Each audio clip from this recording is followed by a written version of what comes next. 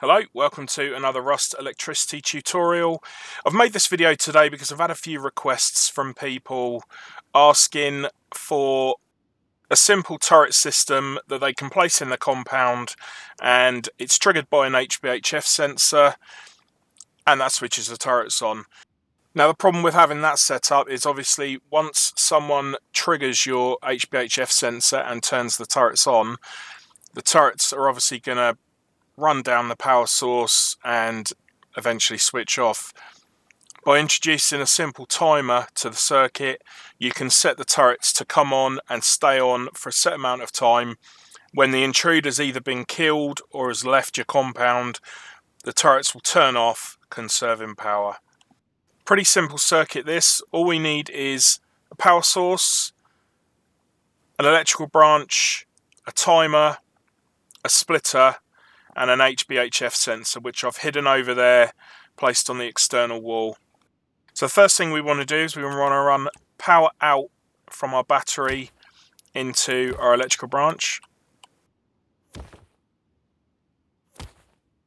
And then the left hand branch out, and you can leave this set at 2 by the way. Obviously click E to configure, just leave that set at 2. And we're going to run that into the power in of our HBHF sensor.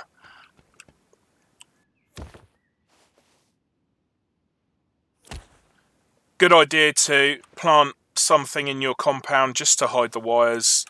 Don't worry as well about these direction indicators shown on the wires. I've had a few people say that that's not very good because it really highlights wiring.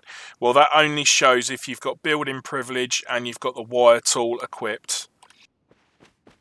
Okay, so let's connect up to power in on HBHF sensor. And then power out, we want to run back into our toggle on our timer.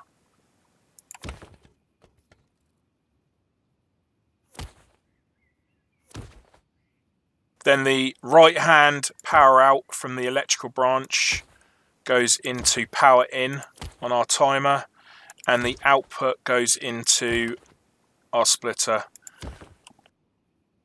Now I've set this timer for 10 seconds, but obviously for defense within your compound, you want to probably set that to five minutes, maybe 10 minutes. It works quite simply. We trigger the HBHF sensor, the turrets turn on, all three turrets are on, and as soon as that 10 second timer runs down, the turrets will switch off again. Like I said, very simple, very easy circuit, and the main idea behind it is it's designed to conserve power. Gone are the days when you could have multiple turrets switched on in your compound. Now, because obviously they take power, you want to be able to conserve as much as you can. Thank you for watching, guys. Your support is always appreciated.